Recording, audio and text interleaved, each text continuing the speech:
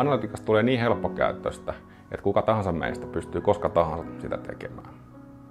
Väitän, että jos osaat tänään lähettää sähköpostia, niin jo yli huomenna pystyt tekemään semmoisia matemaattisia malleja, joita 95 prosenttia tämän hetken datascientista ei osaa.